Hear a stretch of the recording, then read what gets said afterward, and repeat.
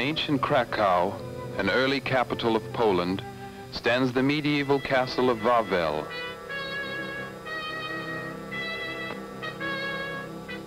Here lived Poland's kings, rulers also of Lithuania and the Ukraine in the 15th, 16th, and 17th centuries. The Middle Ages were for Poland the Golden Ages. The Church of St. Mary in Krakow symbolizes the influences that shape Polish culture.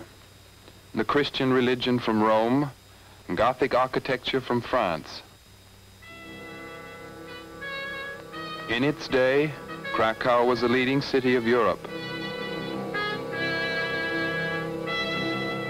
More than 20 generations of students have studied at Krakow's famous university, among them the great Polish astronomer Copernicus.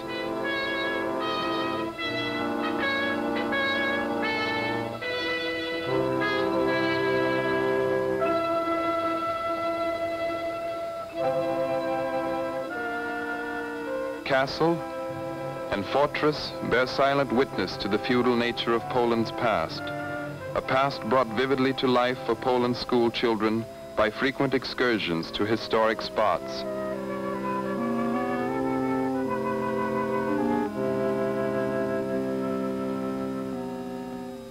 In the 17th century, the Polish kings moved to this castle in Warsaw, making that city the capital. This was Warsaw Cathedral, and this was Warsaw's old market square, ringed by quaintly decorated buildings 300 years old and more.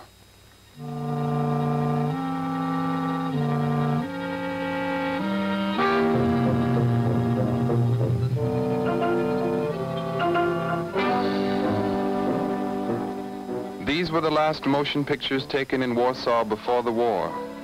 All this is gone now. In this Baroque palace lived Poland's last king. In 1795, he was forced to abdicate. Weakened by internal disunity, Poland was partitioned between Russia, Austria, and Germany. For 130 years, Poland was suppressed and exploited. For 130 years, Poland was enslaved, her patriots persecuted.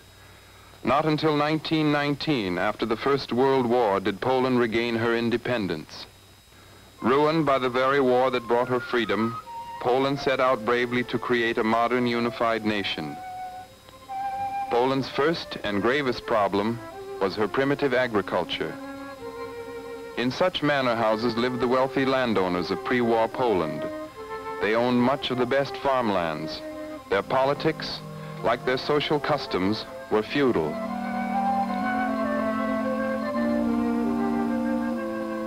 These are the landlord's hired hands. These peasants have no land of their own, so they must work on the estate. They work very hard. They get very little.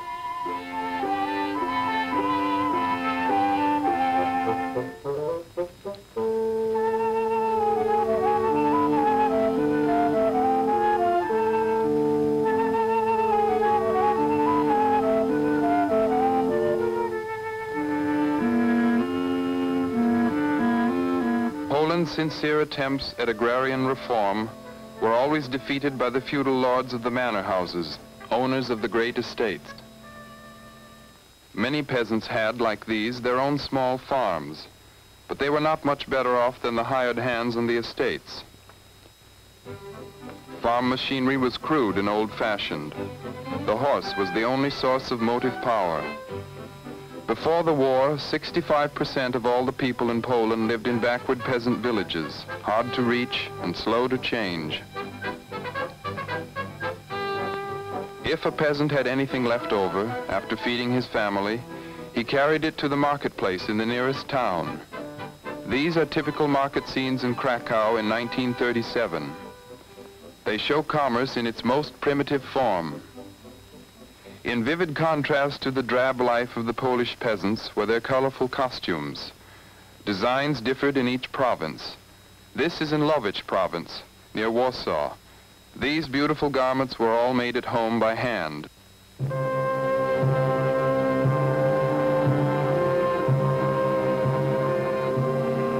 The ceremonies of the church are an important part of Polish life in town and country.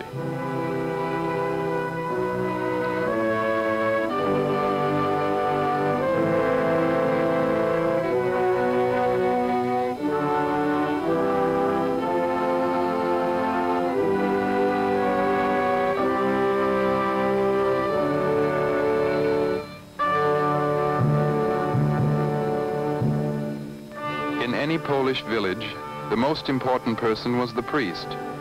To his flock, he was the supreme authority in all matters.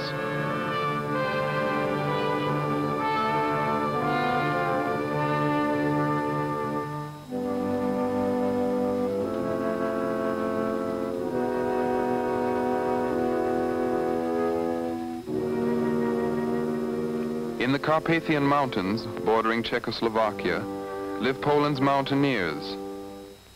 Their isolated life has produced still another of Poland's many regional cultures.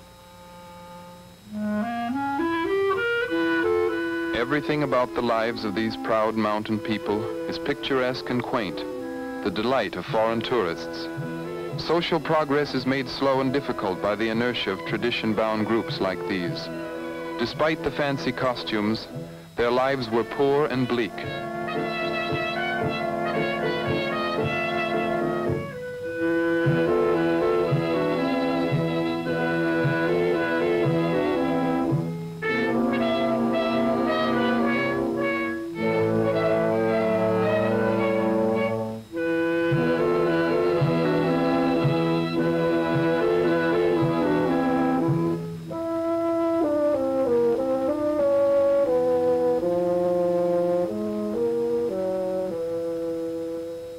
Another province, another costume.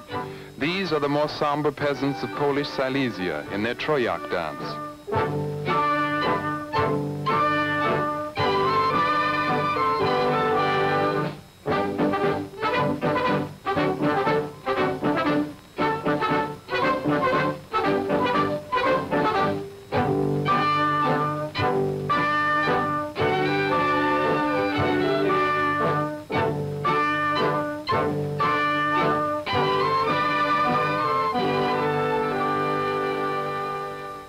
One-third of the population of Old Poland were not Poles. Here is a village of Ukrainians, the largest minority group. The land you see here is now included within Poland's friendly neighbor, the Ukrainian Soviet Republic. Inability to solve the national minority problem fairly was a major cause of Poland's internal weakness when war came. Another large minority group were the Jews, brought to Poland in the 14th century by Polish nobles who needed their skills. Those who were not assimilated lived in wretched ghettos, preserving their own language, religion, and medieval dress. In the 1930s, when the Nazi infection began to penetrate Poland, Jews were persecuted. Between 1940 and 1944, the German occupation forces in Poland committed the most hideous mass murder in history among these innocent victims.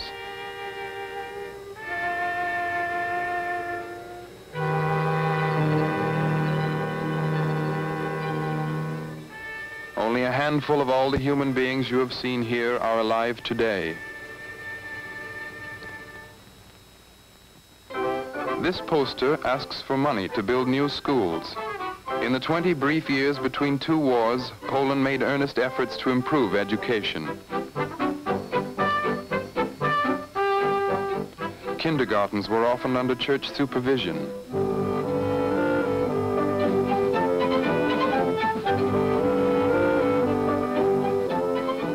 Only a small number of fortunate city children could be sure of good schooling and a comfortable life.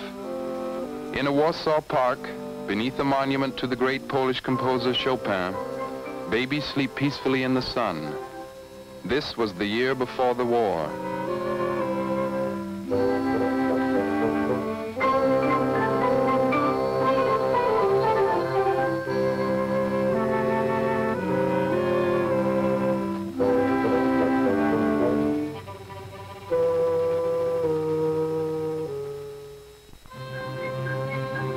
Steel-framed buildings of American design were Warsaw's pride in 1938. New buses and private cars contrasted with the ancient droshky.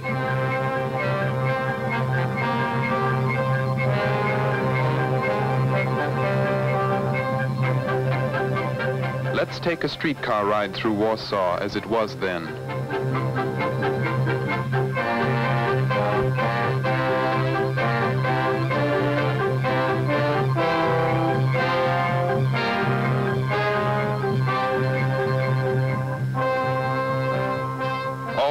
Was bad news in those last days of the Nazi war of nerves.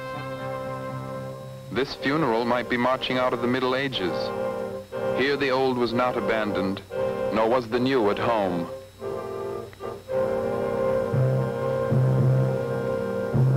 Warsaw was young, Warsaw was growing. Yet the foreman on this construction job treats workers as the overseer on the estate treated the peasants.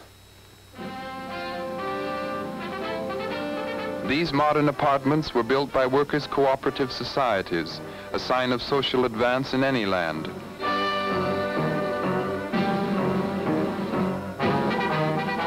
The workers' standard of living remained low. Poland's chief mineral resources were coal, zinc, and oil. From 50 to 80% of Poland's industry was financed by foreign capital. This is the largest zinc works in Silesia. It was owned and operated by an American firm. Polish workers received low wages, but prices were low too. They were protected by social security and health laws much better than in some other European countries. For instance, the labor laws required the employer to supply free milk to smelters.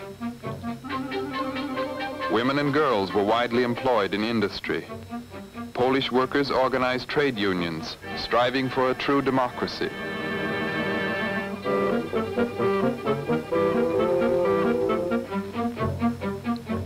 The major industry of Poland was mining. The best miners in the world come from Poland.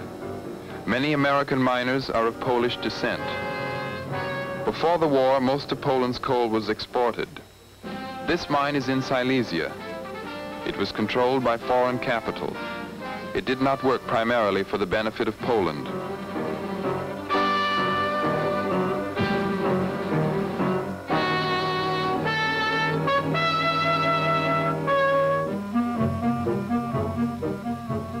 At the end of a hard day's work, these miners have earned barely enough to buy one day's food for their families.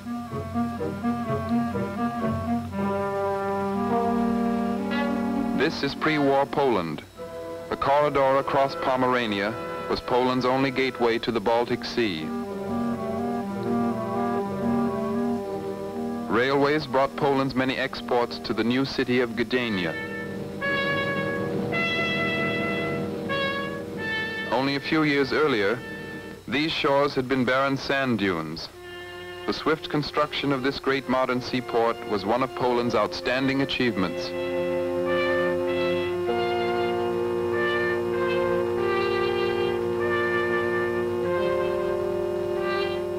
It was characteristic of Poland's economy that most of her exports were raw materials, among them much lumber.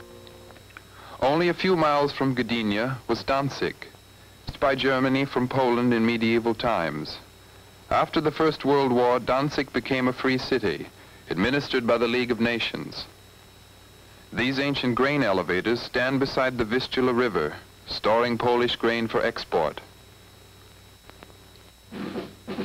Then the Nazis filtered into Danzig and made it a fascist bomb planted at Poland's doorstep.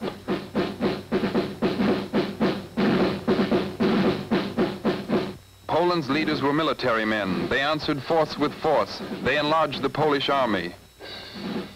Shopkeepers hastened to display portraits of Poland's rising strongmen.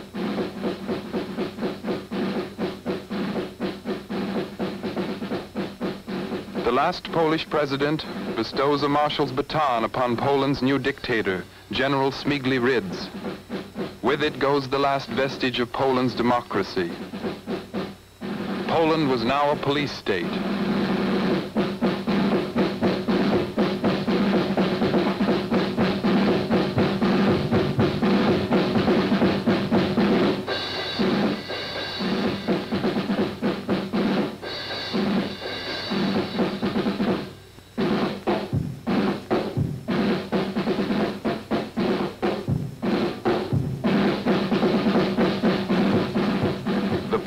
People, always intensely patriotic, trusted their army and its leader. They did not see that their army's equipment was obsolete and scanty.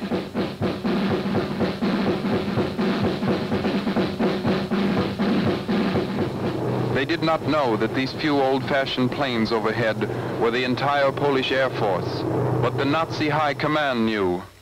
On September 1st, 1939 in Poland, the Germans first revealed what they meant by blitzkrieg.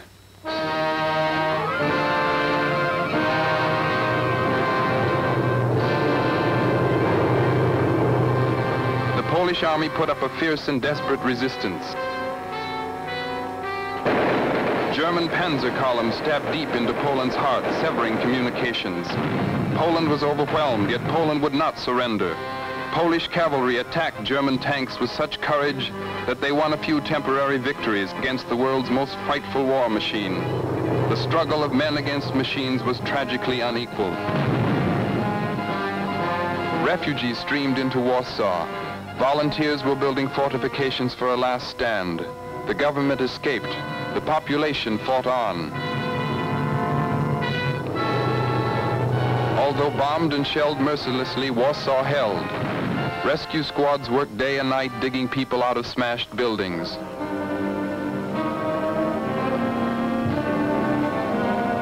The dead fell faster than they could be buried. Women and children were the frontline soldiers in this new kind of total war.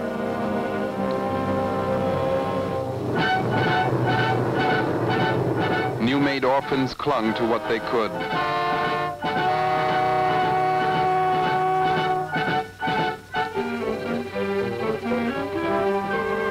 Church shattered, their faith unshaken.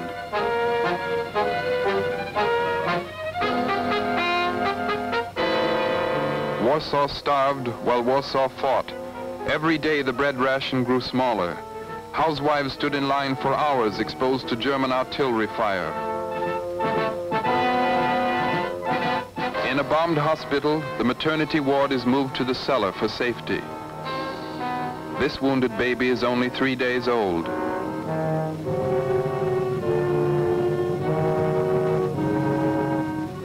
Doctors and nurses work days without sleep. For 28 days, Warsaw withstood alone the full fury of the German army and air force. When Warsaw finally fell, all Europe was in flames. For six years, the Germans devastated Poland and slaughtered its population. Helped by the Allies, the Polish underground continued to resist enslavement. Today, Poland is once more independent and free. This is how the capital of Poland looked on the day of its liberation in January 1945. The history of Poland had never before seen such devastation. Polish soldiers entering from the east are greeted and cheered by the survivors.